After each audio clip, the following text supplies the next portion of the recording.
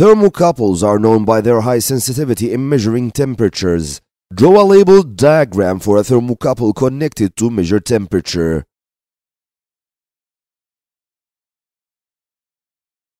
This question is frequently seen in the past papers. Simply draw wire number 1.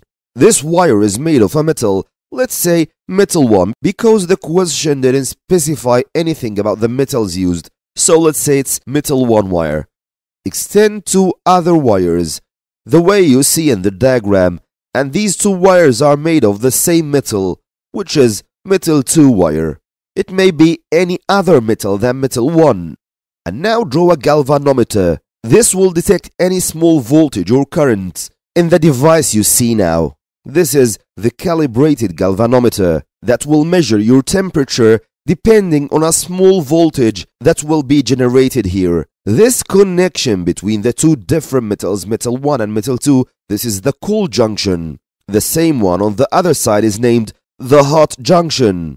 You can also draw some pieces of ice on the cold junction. This will be good. Now what you see now is a complete labeled diagram for a thermocouple. This is for 2 marks.